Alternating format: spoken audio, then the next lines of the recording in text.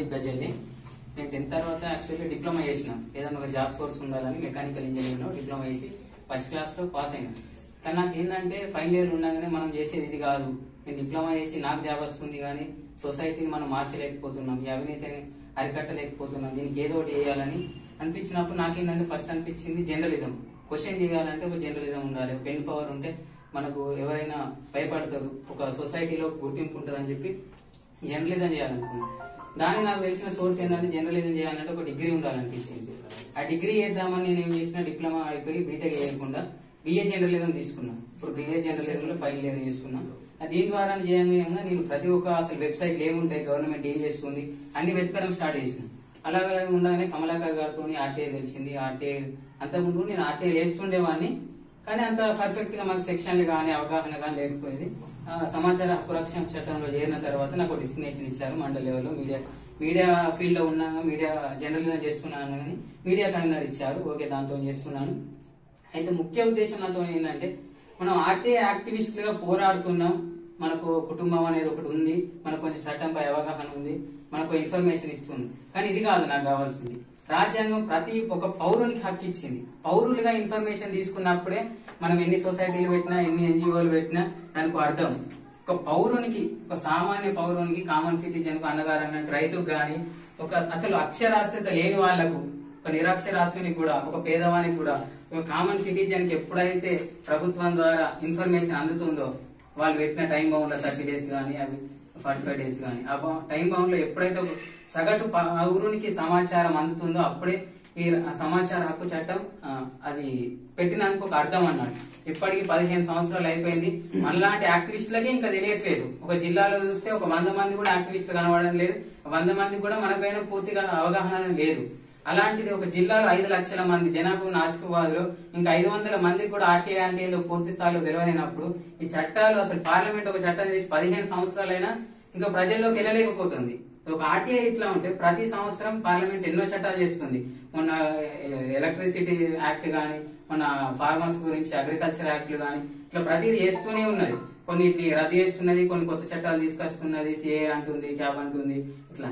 అలాంటప్పుడు ఒక ఆర్టీఐ అనేది ఇంత వెపన్ ఒక వజ్రాయుధం అంటున్నాం. ఇదే పదిహేను సంవత్సరాలు కొండి ప్రజల్లోకి వెళ్ళలేకపోతే ఇంకెన్ని చట్టాలు ఎలా ఉంటున్నాయి? అంటే రాజకీయ వ్యవస్థ ఎట్లుందంటే చట్టం అనేది చేస్తున్నాము కానీ అది ప్రజల్లోకి తెలియదు. ఎందుకంటే ఆర్టీఐ మేము ఆర్టీఐ ఉన్నది. అది ప్రజల్లో అందరికి తెలిస్తే దాన్ని మమ్మల్ని క్వశ్చన్ చేస్తారు. మేమే వాళ్ళకు ఎలా మా తప్పులు బయట పెట్టాలన్న ఉద్దేశంతో వాళ్ళు చెప్పరు. ఒక అడిగిన ఇన్ఫర్మేషన్ని కూడా ఇవ్వలేకపోతున్నారు అందుకని ఒక ఎన్జిఓ ఒకటి ఒక సొసైటీని స్థాపించి మనం ఒక కొంచెం ప్రయత్నం చేద్దాము ప్రజల్లో అవేర్నెస్ తీసుకొద్దాము అని మనకు ఒక అవకాశం వచ్చింది ఇది.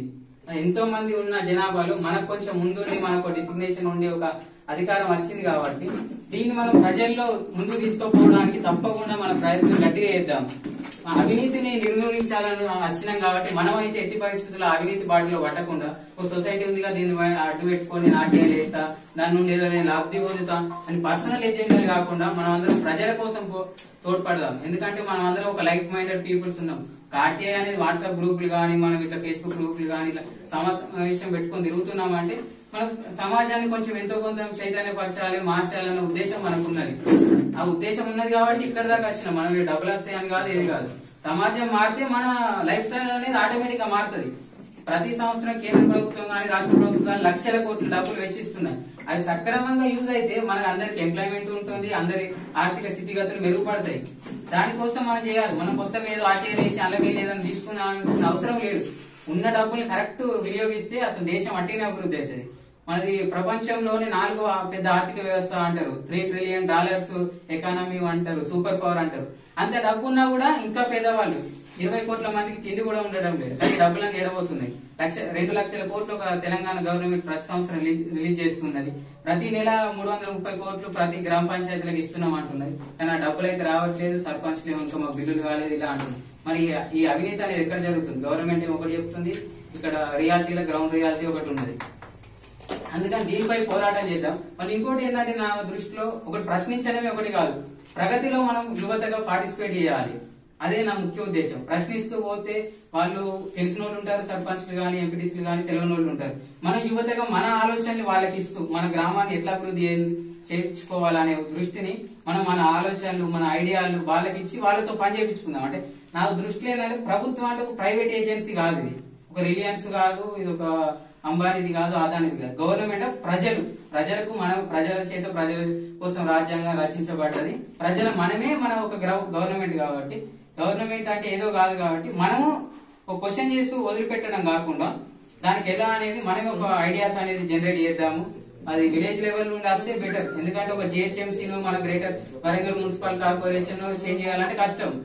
కానీ ఒక చిన్న ఇప్పుడు చిన్న జీపీలు అయినా ఐదు వందలకు వెయ్యికి ఒక జీపీ. ఇలాంటి దాంట్లో ఒక పది మంది యాక్టివ్గా యూత్ పార్టిసిపేట్ చేస్తే ఒక రెండు మూడు సంవత్సరాల్లో పల్లెలు మోడల్ విలేజ్ కావడానికి ఎంతో అవకాశం ఉన్నది.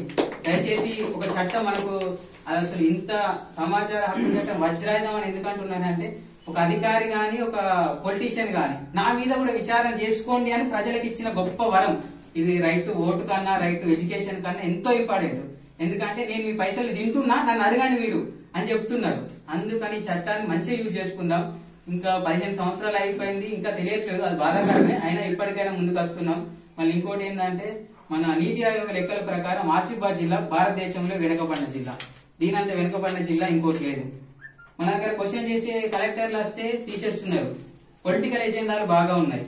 వాటిని తొలగించాలి ఫస్ట్ ఆఫ్ ఆల్ ఎందుకంటే ఒక రాజకీయ పార్టీ అది అభివృద్ధి చెందుతుందా ఎవరనేది కాదు. లాస్ట్గా మనకు ప్రజలకు న్యాయం కావాలి. ప్రజలంటే మనమే. కొత్తగా ఎవరి కోసం మనం చేయనవసరం లేదు. నీటి నువ్వు సమాజాన్ని నీ గ్రామ పంచాయతీలో వచ్చిన నిధులను సక్రమంగా నిర్వ- అది వినియోగించినట్టయితే అది ఆటోమేటిక్గా నువ్వు నేను కూడా డెవలప్ చెందినట్టే అందుకని దీనిపై కృషి చేద్దాం. ఓకే ఇవాళ జిల్లా కమిటీ సమావేశం పెట్టుకొని మండల కమిటీలను ఏర్పాటు చేసుకొని కొత్త ఆర్టీఐ యాక్టివిస్టులను కూడా తీసుకొచ్చే ప్రయత్నాలు చేద్దాం. ఎంత చేసినా చట్టంపై మాత్రం పూర్తిగా అవగాహన తీసుకొచ్చి ప్రతి గవర్నమెంట్ ఆఫీస్ లో ఒక అసలు చట్టం వాళ్ళకి వాళ్ళకే తెలియట్లేదు. అదొకటి తీసుకురావాల్సింది ఏంటంటే మనం కలెక్టర్లకు కానీ లేకపోతే రాష్ట్ర స్థాయిలో కానీ కేంద్ర స్థాయిలో కానీ ఒక దృష్టి చేయాల్సింది ఏంటంటే కొత్తగా ఒక పంచాయత్ సెక్రటరీలు వచ్చిండ్రు ఎగ్జాంపుల్. వాళ్ళకి అసలు ఆర్టీఐ ఉందని తెలియదు వాళ్ళకి గైడ్ లైన్స్ అనేది తెలియదు. ఎలా ఆర్టీఐ మనం వచ్చినప్పుడు దాన్ని రిసీవ్ చేసుకోవాలి ఎలా వాళ్ళకు రిప్లై ఇవ్వాలనేది వాళ్ళకు కూడా అవగాహన లేదు. అసలు ప్రభుత్వం ఆర్టీఐని నిర్ము అసలు తీసేద్దాం అన్న కాన్సెప్ట్ తీసుకొస్తుంది. అందుకని వాళ్ళే దాడులు చేపియడం ఆర్టీఐని వీళ్ళు దుర్వినియోగం చేస్తున్నారు ఈ చట్టం లేకుండా చేద్దాం అనేది కుట్రలు జరుగుతున్నాయి. అందుకని గవర్నమెంట్ మీద కూడా మనం ప్రెజర్ తీసుకొచ్చి ప్రభుత్వ ఉద్యోగులకు కూడా కంపల్సరీ రిక్రూట్మెంట్ అయినాక ఒక వారం రోజులు పదిహేను రోజులు ఆర్టీఐ మీద ఇలాంటి ఏవేవైతే సెక్షన్స్ ఉన్నాయో వాటి మీద అవగాహన తీసుకొచ్చి ప్రజలకు ఇన్ఫర్మేషన్ అనేది అసలు మనం అడగకున్న కొన్ని వాళ్ళే ఇవ్వాలి. కానీ ఏ గ్రామ పంచాయతీ ఆఫీసులో ఇంతవరకు ఆర్టీఐ బోర్డు కూడా లేదు. దానికి ఇన్ఫర్మేషన్ చెప్పేటోళ్ళు లేరు. వాళ్ళే అసలు నిధులను కానీ ఇవ్వైనా కానీ ఒక గ్రామ సభ ఉందంటే అది ముందే వాళ్ళే మినిస్- మన ఎజెండాలో పెట్టి ముందే అసలు ఒక ఇన్ఫర్మేషన్ బోర్డులో అవన్నీ పెట్టాలి. కానీ అవి ఏం చేయట్లేదు. మనం అడిగినా కూడా సమాధానాలు ఇవ్వలేని పరిస్థితులు ఒక్కొక్క దగ్గర ఉన్నాయి. ఆర్టీఐ యాక్టివిస్టులపై దాడులు జరుగుతూనే ఉన్నాయి. అన్నిటినీ మనం ఒక ఉమ్మడిగా ఉమ్మడి ఎజెండా కోసం ఉమ్మడిగా పోరాడదాం. ఎక్కడక్కడ ఇండివిజువల్గా ఎవరు ఆర్టీఐ వేసినా కూడా దాన్ని అందరితో పంచుకుందాం. దాని వల్ల ఒకరికొకరు ఒకరు ఒకరు తెలిసిన విషయాలు ఇంకొకరు పంచుకోవడం వల్ల కొంచెం నాలెడ్జ్ పెరుగుతుంది సమస్యలు అనేది తొందరగా సాల్వ్ అవుతాయి. అదే ముఖ్య ఉద్దేశం. ఏంటంటే ఆర్టీఐ నా ముఖ్య ఉద్దేశం ఏంటంటే ఆర్టీఐ యాక్టివిస్టులకే కాదు.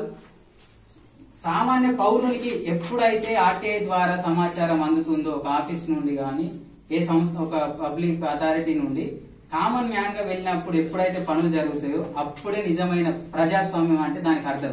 ప్రజాస్వామ్యం అంటే ఏదో పొలిటీషియన్స్ కొందరు ఆర్టీఐ యాక్టివిస్టులకు సోషల్ యాక్టివిస్టులకు హ్యూమన్ రైట్స్ కమిషన్లకు వీళ్ళకి కాదు. ఒక సామాన్య పౌరునికి సామాన్య పౌరునికి ఎప్పుడైతే అది ఇన్ఫర్మేషన్ కానీ పనులు కానీ ఎప్పుడైతే జరుగుతాయో అప్పుడే మన ఈ డెబ్బై ఐదేళ్ళ స్వాతంత్ర రాజ్యానికి ఒక అర్థం.